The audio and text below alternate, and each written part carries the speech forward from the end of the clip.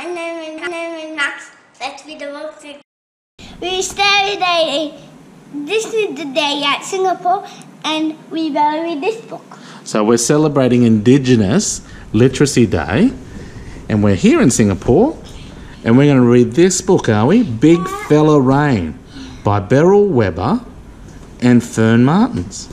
We, Big Fella Rain by Beryl Webber, illustrated by Fern Martins, and published by Magabala Books. Is this is big fella rain. What do you think it's about? Rain. Rain? Oh. Way up north, when the mighty storms come, lightning right. flashes through licorice clouds. I was right. I Oh, was right. Rain. okay. What type of rain is it? Lightning rain. Lightning rain. Hey? Because there's lightning. An eagle drifts high in the sky, and ducks are on the move. Where's the duck? Well, where are the ducks? Here. Yeah. No, but that's an eagle. The Yeah. duck. Correct. Thunder rolls. Boom! Raindrops hit the dry red dirt. Puddles spread across the cracked earth. Did, did, did, did, did, Careful. did. Careful. Muddy pools become streams. Streams become creeks. Frogs live at creeks. Do they? It's crocodiles. And crocodiles. Oh, here we go. There's a crocodile. Water fills the waiting billabongs. Crocodiles peep from under lilies. I was right. Crocodiles. Yeah. And, and frogs. And frogs. You reckon there's frogs there too? And I was right. Dragonflies hover on iridescent wings while tiny insects hum and sing. Is that the sound they make? And crickets go. Tortoises come out to play, swimming through thirsty reeds. Swim, swim. Frogs sing a chorus. Croak, croak, I was right. croak, Frogs. croak. I was right. Frogs also. Even birds. Raindrops glisten on an emu's beak as brolgas dance with outstretched wings. Do, do. The pictures look pretty cool, don't they? Yeah. Yeah. Let's keep this book forever. Yep. Wildflowers float on the wind, far from the seeds and nuts scattered below. Flowers can break. Flowers can, but their seeds are flying through the air, so they can they can find soil and get replanted and spread again and grow more flowers. Green ants climb up a paperbark tree towards a silver web. Try climb.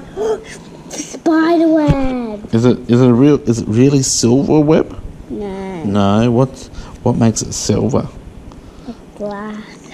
Hmm. The shiny stuff. Yeah, maybe water. Glitter. Water getting caught on the spot on the web. Oh, or glitter. Glitter. glitter, you reckon? Fair enough. Glitter I think rain. it's probably more rain, being that it's a Glitter big rain. fella rain. Oh.